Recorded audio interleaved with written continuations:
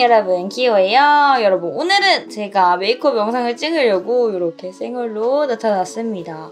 근데 이제 오늘 무슨 메이크업을 해볼 거냐면 그 유튜브에서 요즘 굉장히 핫한 고양이 메이크업을 해보려고요. 근데 이제 그냥 고양이 메이크업 하면 좀 재미가 없으니까 저는 오늘 불량 고양이. 조금 더 불량한 느낌의 고양이 메이크업을 한번 해보도록 하겠습니다. 그래가지고 렌즈도 이제 평소에 끼는 거랑 좀 다른 걸 껴보려고 이렇게 안경을 끼고 나타났는데 제 시력이 되게 안 좋아가지고 눈이 진짜 조그매졌어요. 그래서 빨리 렌즈부터 껴보도록 할게요. 하여튼 오늘 불량 고양이 메이크업 한번 시작해볼까요?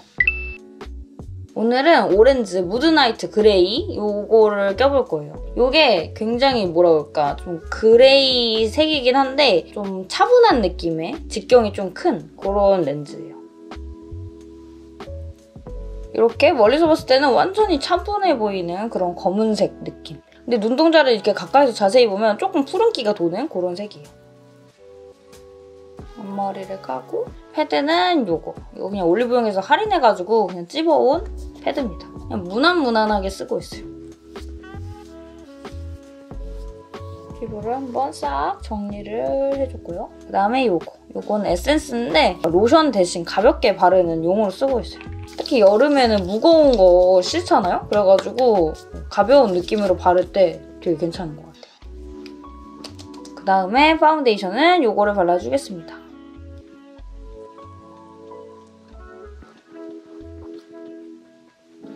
아 오늘 피부가 상태가 너무 안 좋다. 아무튼 이렇게 파운데이션을 다 발라줬어요. 그 다음 볼터치를 먼저 해줄 건데요. 이거 3 컨셉 아이즈 누드 피치 색깔인데 너무 많이 닳아서 사실 색깔도 잘 안 보이죠. 이런 하나 더 사야겠다 진짜 이거. 이건 진짜 두 통째 비운 거예요 지금. 너무 잘 쓰고 있어요. 이걸로 가볍게 볼터치는 그렇게 강조되는 느낌은 아니에요. 이렇게 눈두덩이에도 기본 베이스 살짝만 들어가 줄게.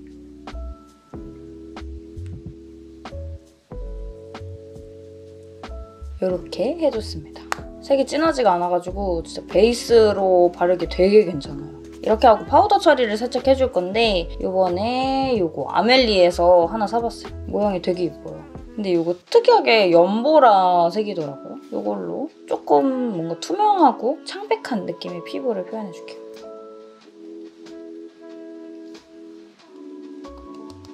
와 이거 너무 이쁘다. 뭔가 미묘하게 그 연보라색이 얹어지는데 되게 부담스럽지도 않고 진짜 마음에 들어요. 잘 샀다. 인스타그램에서 광고 엄청 떠가지고 진짜 홀려서 사버렸어요. 하여튼 완전 만족. 그 다음에 눈썹. 사실 눈썹은 오늘 크게 중요하진 않아요. 앞머리를 내릴 거라서. 그래서 그냥 대충 그려주도록 하겠습니다. 너무 진해지지만 않게 나오면 될 것 같아요.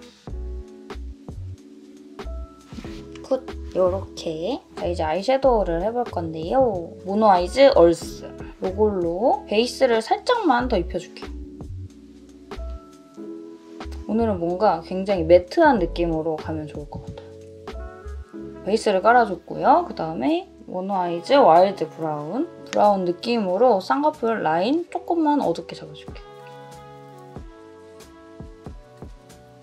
오늘이 약간 고양이 메이크업이잖아요. 그러니까 그걸 섬세하게 끝에만 살짝 묻혀서 약간 눈꼬리를 살짝 올려준다는 느낌.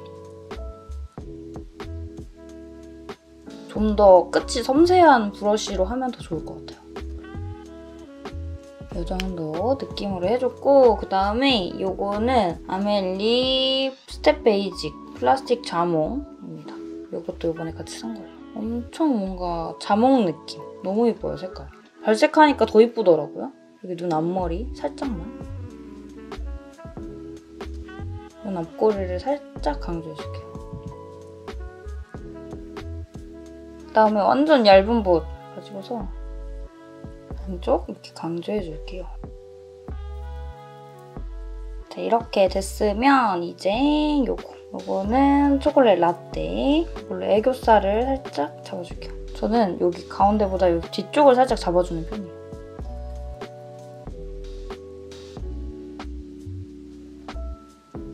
다음에 아이라인을 그려줄 건데요. 오늘 요걸 사용해 볼 겁니다. 의외로 아이라인은 그렇게 강조된 느낌이 아니어가지고 요거 약간 애쉬 계열의 되게 연한 아이라이너 사용해줄게요.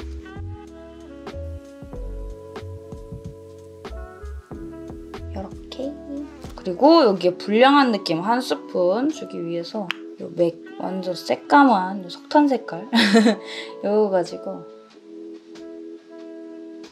쌍꺼풀 부분 있죠? 여기만 조금 강조를 해줄게요.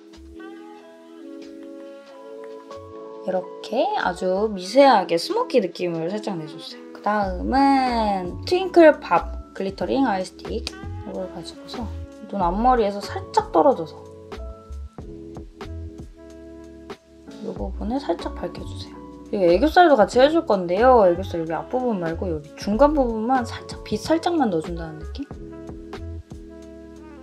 이렇게 해서 눈화장 지금 어느 정도 됐고 그 다음에 이 속눈썹 붙여줄게요. 속눈썹은 이거 A형 11mm로 좀 길게 붙여주도록 하겠습니다. 자, 이렇게 속눈썹을 붙이고 왔습니다.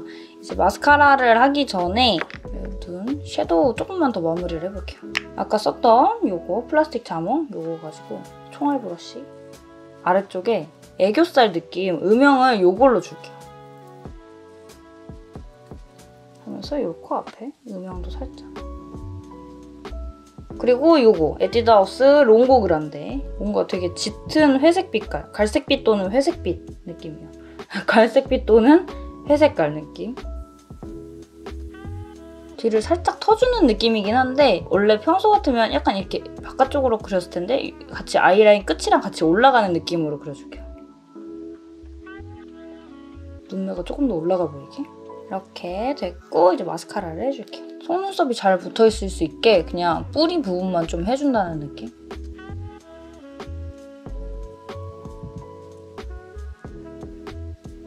이제 어느 정도 다 됐는데 이제 고양이 메이크업은 사실 좀 쉐딩이 중요한 것 같아가지고 오늘은 쉐딩을 해보도록 할게요. 요거를 가져왔어요. 일단 중간 단계.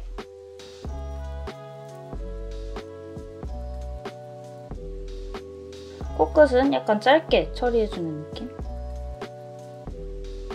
하고 여기 입술 끝에 끼우 하는 느낌으로 입모양을 만들어준 다음에 여기 입꼬리에 음영을 넣어주세요. 입술 아래쪽에도 음영 그리고 제일 진한 거 붙여서 턱 끝도 좀 깎아주세요. 고양이들은 좀 약간 턱이 약간 짧은 느낌이잖아요. 됐고 요거 요거 에뛰드 쿠키 블러셔 레드 자몽 푸딩입니다. 되게 발색이 진한 타입인데요. 코끝 진짜 살짝만 불그스름한 느낌? 그 다음에 이 하이라이터 요거 가지고 하이라이터는 사실 뭐든 상관은 없습니다. 코끝 살짝 하고 여기 눈 앞머리도 살짝 한 번 더. 그리고 입술을 발라줄 건데요. 입술은 요거 아멜리 에어립스 케이스가 진짜 너무 예뻐요. Tasty Brown이라는 색깔을 사봤습니다. 약간 뭔가 초콜릿 같은 느낌의 브라운 색상이에요.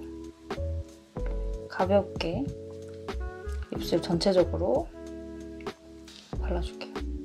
이게 진짜 가볍게 발리거든요. 뭉침 전혀 없이 뭔가 이렇게 한 겹 살짝 씌인 것 같은 그런 느낌? 그래가지고 뭔가 각질 부각도 잘 안 될 것 같고 베이스로 바르기 되게 좋을 것 같아요. 그래서 이렇게 발라주면서 이 꼬리 부분 살짝 올라가게 칠해준다는 느낌. 짜잔! 이렇게 됐으면 이제 요거 요거는 Alternative Stereo라는 브랜드의 Denim Rose 제가 사실 요 최근에 여기 팝업을 갔었는데 어, 요 색깔 진짜 예뻐가지고 완전 꽂혀버렸어요. 가을의 찰떡이에요. 되게 mauve 컬러 같은 느낌? 안쪽에만 살짝 발라줄게요. 그리고서 아까 그 하이라이터 가지고 손가락 끝에 콕콕콕 묻혀서 여기 입술 제일 톡 튀어나온 데 있죠? 거기를 살짝 강조해주 이렇게 됐습니다. 이런 느낌이 좀 덜 나는데 하여튼 불량 고양이인 거임. 저는 스타일링을 마치고 와보도록 할게요. 짠! 이렇게 맞춰봤습니다. 짜잔. 제가 요거를 에이블리에서 샀어요. 이렇게. 고양이 귀. 근데 여기 약간 이렇게 피어싱 하고 있는 고양이 귀여가지고 진짜 이거다. 불량 고양이 메이크업이다. 이게 딱 떠올라가지고 그래서 오늘 메이크업 한번 준비해봤습니다. 아 진짜 생각보다 너무 마음에 드는데? 하여튼 이렇게 해서 요즘 유행하는 고양이 메이크업 불량기 조금 담아서 완성해봤습니다. 이렇게 그러면 우리는 다음 영상에서 또 만나요. 안녕!